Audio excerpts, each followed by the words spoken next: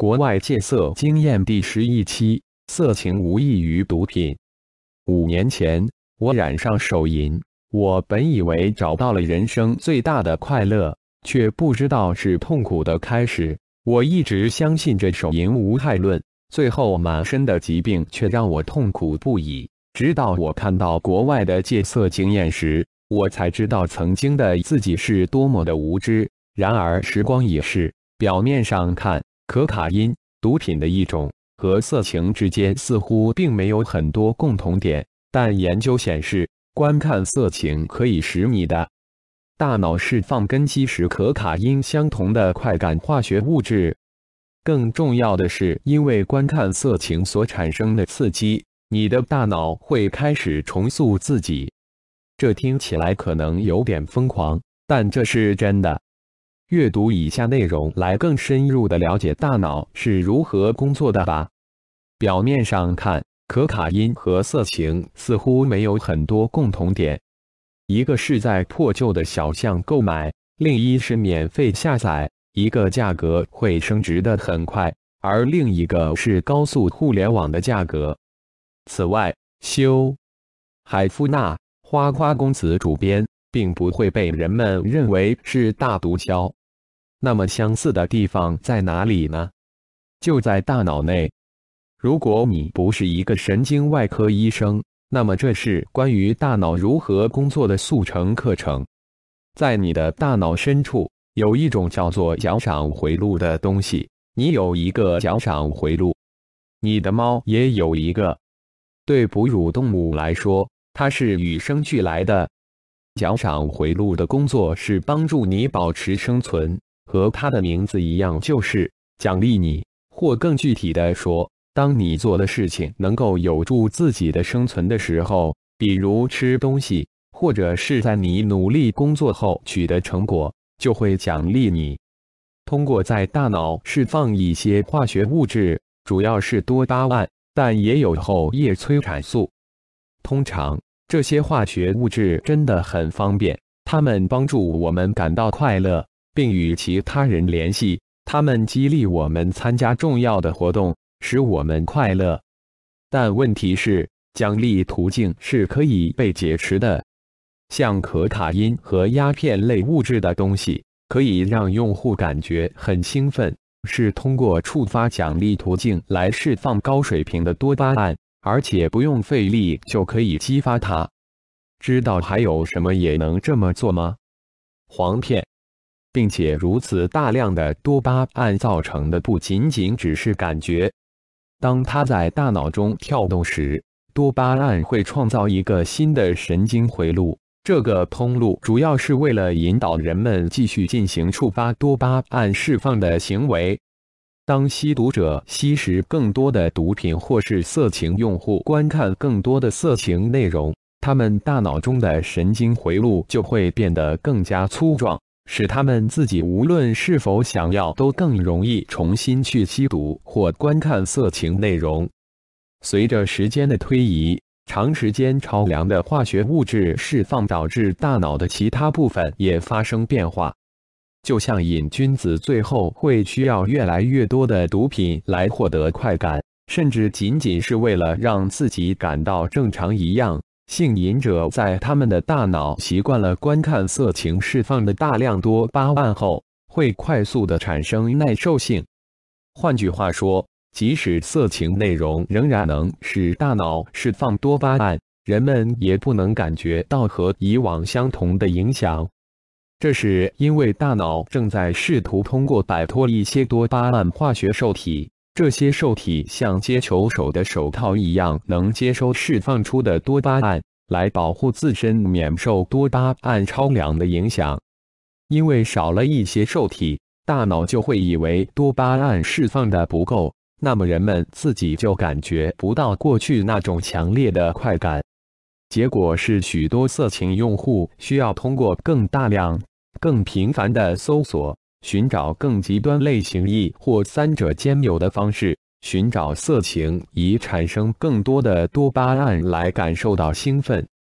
一旦色情用户习惯了这些化学物质所产生的脑脉冲，试图削减他们观看色情的习惯，会带来戒毒一样的戒断反应。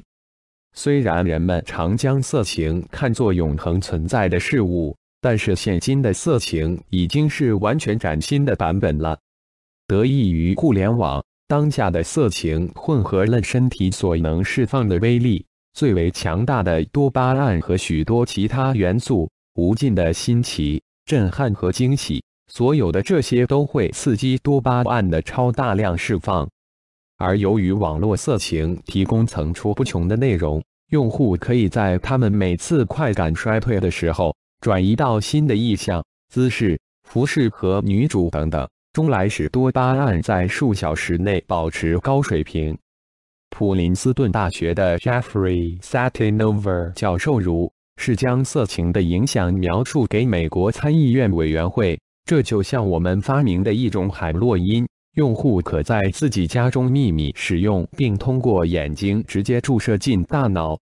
案例一：从八九岁开始，每天我都会撸好几次，这让我成了一个撸管男。直到我十六、十七岁时，我竟然还没有意识到撸管的恶果。其实，在十六岁时，撸管已经开始在影响我的生活和大脑。但可怕的是，我一点也没注意到这种糟糕的情况。出来撸，迟早是要还的。接下来的三年里，一系列的问题找上了我：容易疲劳、记忆力减弱、没有活力、注意力低下、自卑，还有糟糕的学术能力和职场表现。这一切让我简直忘记了曾经的巅峰状态是什么样的感觉了。现在我的情况是。经常提笔忘字，容易分神，沟通能力缺失。就比如我无法理解其他人正在说的话的意图和真正含义，自卑，生命力衰弱，甚至连简单的数学计算都是问题。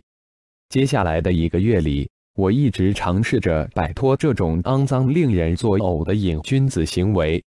然而，我每一次都失败了。不，这是我的目标。但是我连坚持三天都做不到。可怕的是，我明明感觉没有性欲，我还是毫无原因的上网看黄片，边看片边撸管，一直撸到勃起都成了问题。说真的，肮脏的我真的受够了这种感觉。我只想要像正常人一样干净的生活，尽管我一直以来都是肮脏好色的人。现在我是真的想要结束这种生活了，大家能告诉我该怎么办吗？我已经在这里读了很多故事，但是没有和我相近的。很小的时候就有性幻想人。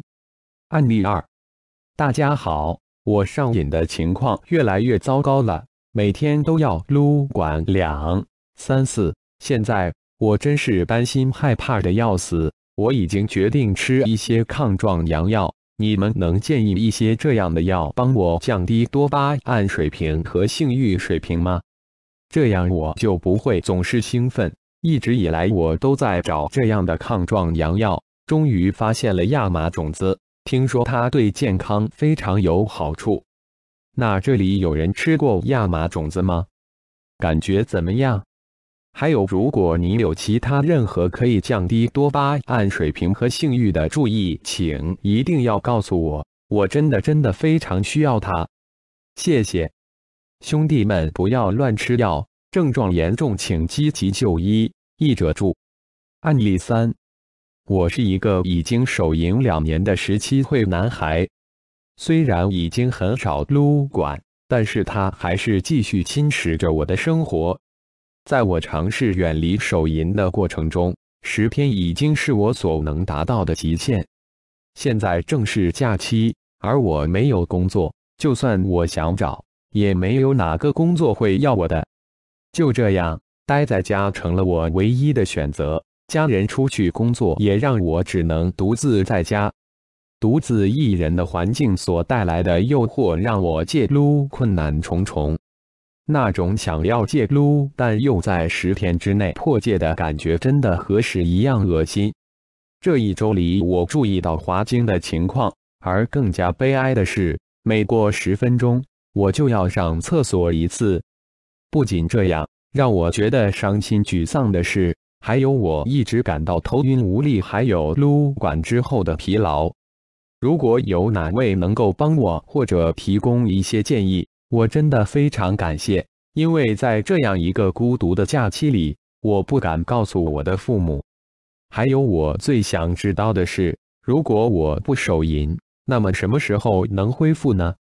复评：从这些文章中，我们可以清楚的看到，色情无异于毒品，即具成瘾性。三个国外案例也清楚表明。色情的成瘾性给全世界的人带来的伤害是相同的。国外依然有很多借由沉迷于色情不能自拔，更是被一些症状折磨的苦不堪言。所以，我们的每一次看黄，每一次破戒，都是在加重这种成瘾性。很多兄弟抱着这种想法，这次看黄破戒没关系，以后再好好戒。其实他不知道。这次的破戒会对以后的戒色带来多大的难度？兄弟们一定要有这样的决心。上次破戒是我这辈子的最后一次。后记：戒色吧近期建立了戒色吧翻译团队，专门对国外的一些戒色团队和最新证明色情和撸管有害的科研成果进行翻译，以此来证明国外曾经沉迷于色欲的人们也已经觉醒。也用西方科学类观点来帮助大家更加清楚地认识色情的危害，证明咱们中国老祖宗在几千年前就得出万恶淫为首的真理。